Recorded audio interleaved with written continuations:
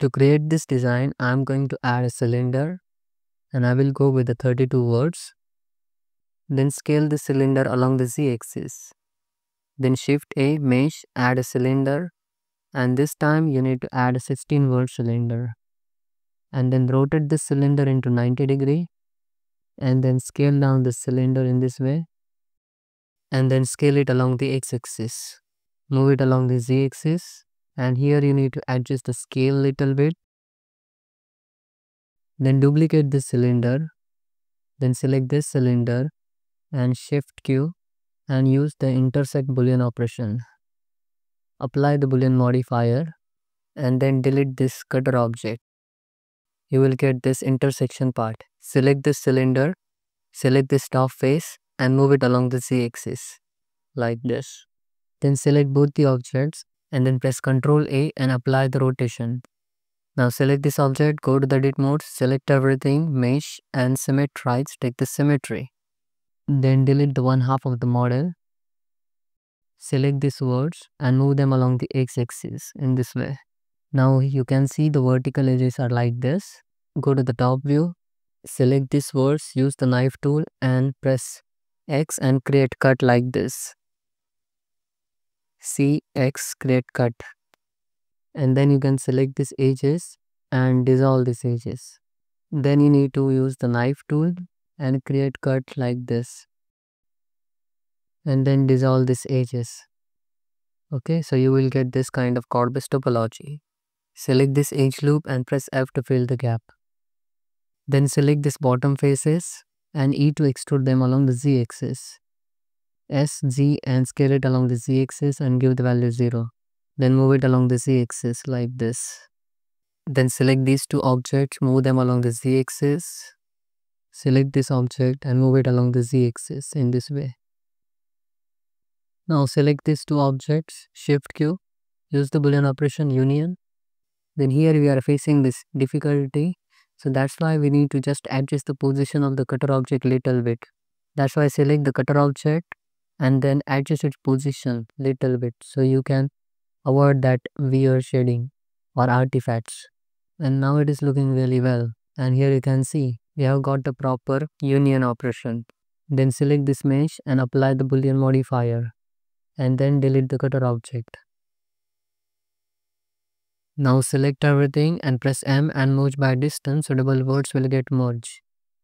Select everything, mesh and symmetrize, take the symmetry. Then use the knife tool and create cut like this.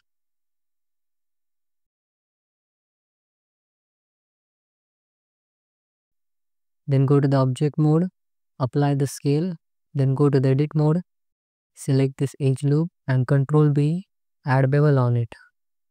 Shape factor should be 0.5 and add a 4 segment bevel. Select these verts and then press J to connect them. Then dissolve this edges. Select this vert and this vert merge at last. Then dissolve this edge.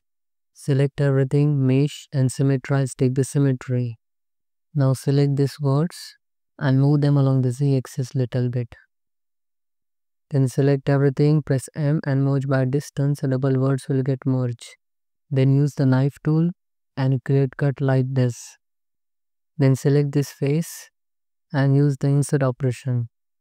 Then select this edge loop, select this edge loop, then select this edge and control B, add bevel on it. Add a 2 segment bevel, shape factor should be 1 and give the proper bevel width in this way. Then dissolve these edges. Select this vert and adjust its position. Select this vert and select this vert and then press J to connect it. Then dissolve this edge. Then select this edge loop. And then control B, add bevel on them. Then add two loop cuts here. Then use the knife tool and create this kind of cuts. Select this edge and dissolve it. Will get this kind of loop structure. Use the knife tool and create one cut here. Then dissolve this edge. Here I am going to select this edge loop and I am going to dissolve it. And I will select this edge loop and I will use the edge slide at there. Then select this edge loop and use the set flow on it in this way. Now select everything and mesh and symmetrize. Take the symmetry. Select these verts and press M and merge by distance so double verts will get merged.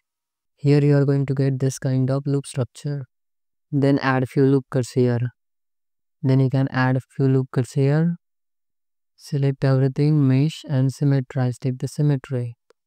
Select these faces, delete these faces, select this edge loop, use the face and then grid fill. Increase the span and adjust the offset. Then same thing at the bottom side. Select this edge loop and control B add bevel on it. Then select everything, mesh and submit rights. Then select the object and hit the control 2 to add the subD modifier and shade smooth it.